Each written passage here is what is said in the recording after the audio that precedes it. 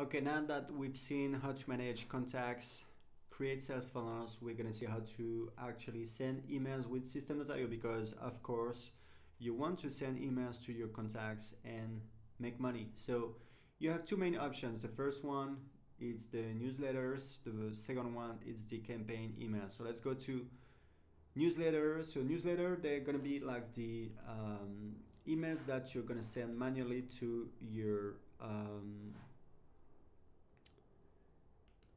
to your uh, to your um, list. So I'm gonna go here. I'm gonna choose the tags uh, I want send the email to so here you can change your sender name the sender email address and these default settings you can change in the mailing settings item menu here okay? So here you can um, type in your text like hello hi there. Hi there. I would like to blah blah blah. And you can type in your text. So in case you're wondering right now we don't have a visual editor that allows you to create some fancy emails.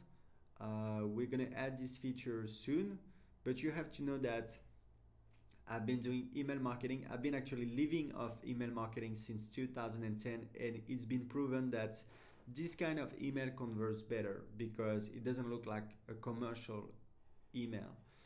So you can, in the meantime, you can actually keep sending emails and make money with your online business. Okay, so here you type in the text, you can add some attachments here you can include the follow the tags you want to send to and here you can exclude the tags you don't want to send to okay? So here you have an option that's uh, like if you want to uh, to exclude people who subscribe less than let's say 10 days ago okay? For example if you have an email campaign that is sent to your new opt-in subscribers uh, that lasts for seven days maybe when you want to when you send a manual newsletter you want to exclude these people. So here you have the ability to exclude all people who register less than uh, eight, eight days ago in this case okay? So here I can click save and I can schedule the email or send it right away to my list. So here we have the campaign. So I don't have any campaign. So I'm gonna click on um, you know, like uh, uh, let's say people opt in to receive a five day uh, coaching course, you know.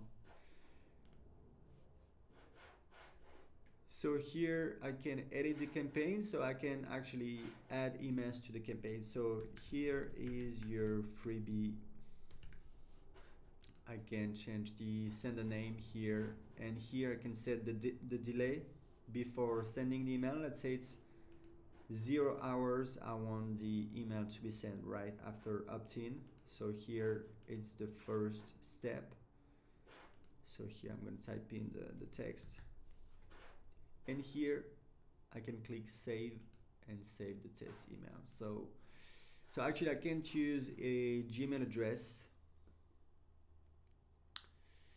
Uh, because it's bad for deliverability. So we strongly advise you to uh, purchase a domain name. You can get one for like seven bucks per year, and uh, a mailbox, and just create um, uh, an email address with your own domain name. So it's gonna be much better. So we don't allow people to send emails with the Gmail address or a Yahoo address um, Yahoo actually doesn't allow you to send emails from a Yahoo email address um, that is not sent from their own servers. That's DMARC in action.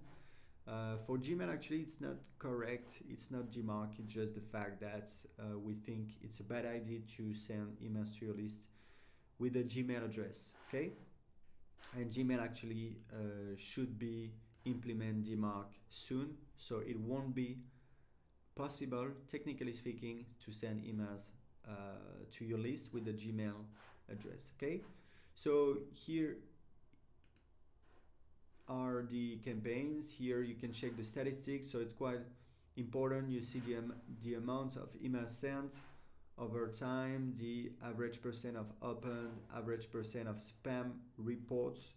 So they're not spam, they're spam reports. It's when someone actually clicked on um, mark this email as spam, someone who received your email and manually clicked on uh, report as spam that you get a spam report here. So it's very important to check this out. And the average percent of bounced emails bounced is when there was an issue with the delivery of the email. So you might also want to check out this this figure here because it's quite important for uh, your deliverability. Okay, so that's all for the emails. Uh, you have two main features, send emails manually with newsletters or send emails automatically with campaigns. And if I have an, some advice to give to you is don't make it too complicated.